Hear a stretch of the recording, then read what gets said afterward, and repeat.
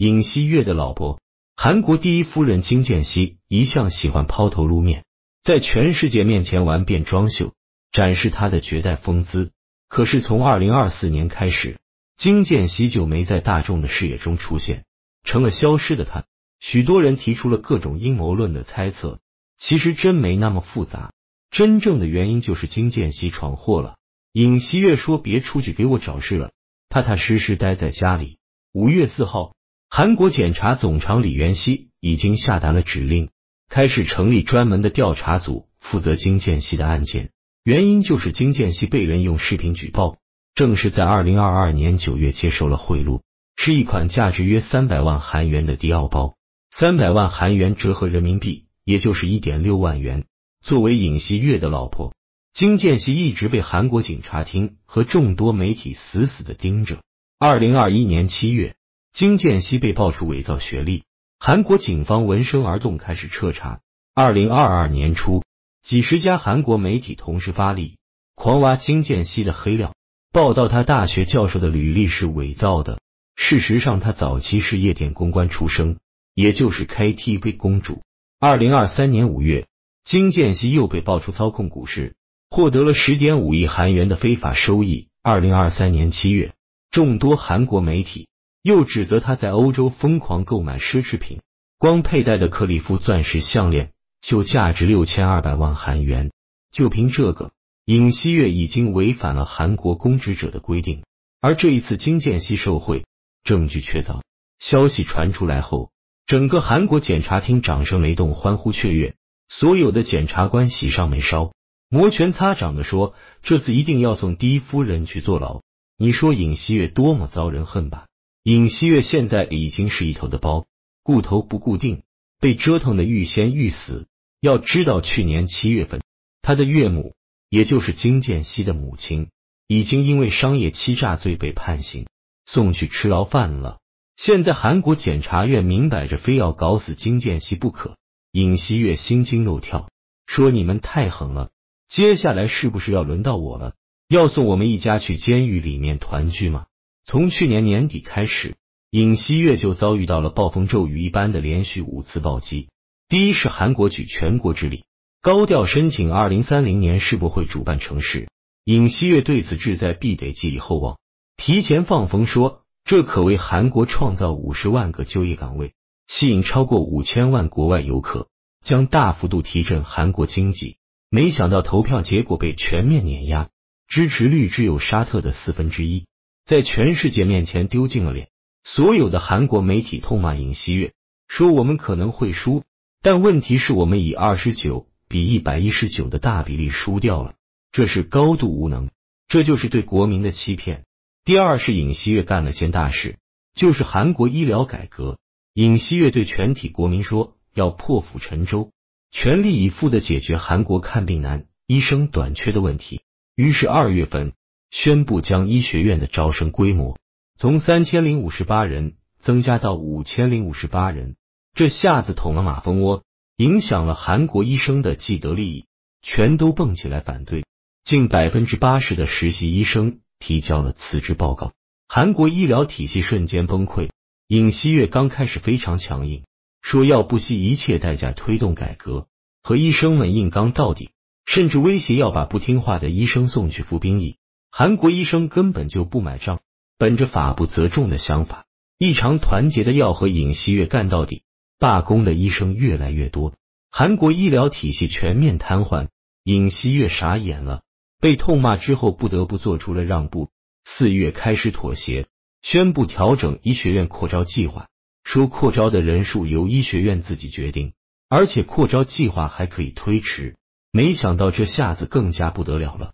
一看到尹锡悦服软了，韩国医生蹬鼻子上脸，说：“你现在想投降，哪里有那么容易？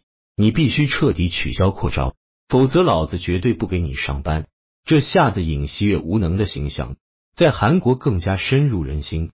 第三是韩国的大葱事件，我们原来不是说过吗？韩国物价飞涨，在去年的时候，大批的韩国游客跑到中国来，就为了从中国买大米到韩国去卖。挣差价，而到了今年三月，韩国食品的价格再次坐上了火箭。一飞冲天，比去年上涨了百分之八十八。一个苹果卖到了三十二块钱，一个梨卖到了四十七块钱。韩国怨声载道。三月十八日，尹锡悦带着媒体视察首尔一家农产品超市，想表现自己关注民生。在超市中，尹锡悦说：“哪里贵了？这么多年都是这个价格，不要睁着眼睛乱说。韩国很难的，一捆大葱才卖八百七十五韩元，我觉得很便宜。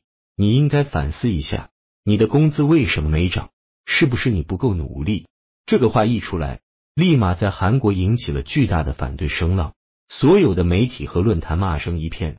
因为尹锡悦的随从专门带他去的过期打折的店铺位，正常的韩国大葱一捆的价格是三千七百韩元，接着八百七十五韩元一捆的大葱在哪里的话题，马上登上韩国热搜，一个月都降不下来。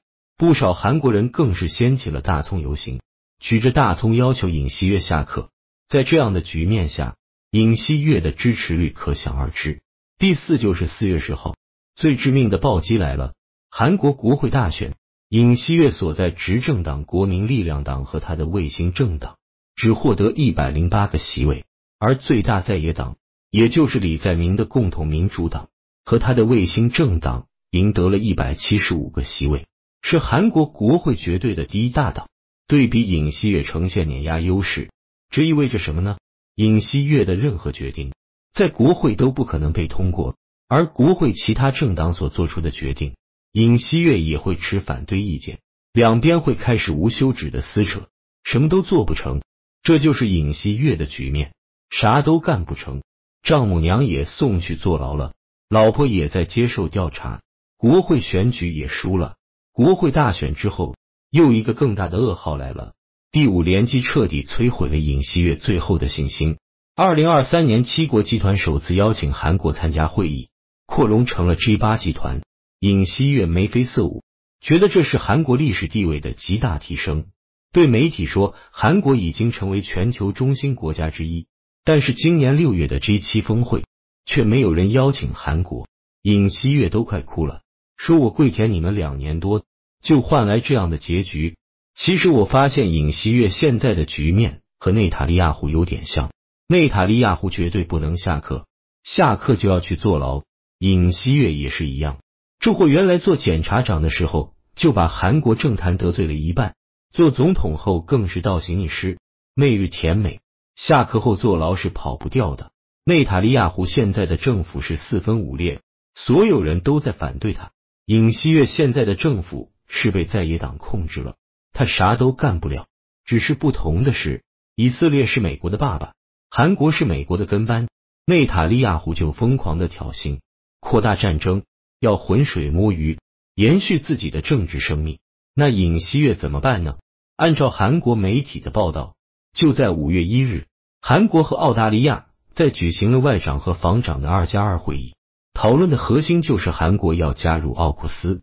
奥库斯是美国、英国、澳大利亚组建的军事集团，目标就是围堵中国。韩国就在中国边上，他要真加入了，美国、英国、澳大利亚都离中国几千公里，要真打起来，谁吃亏？谁是炮灰？